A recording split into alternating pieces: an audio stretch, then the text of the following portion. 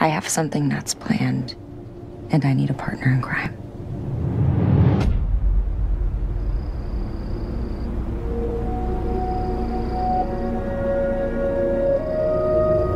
Damn it, Hunter. What are you getting us into?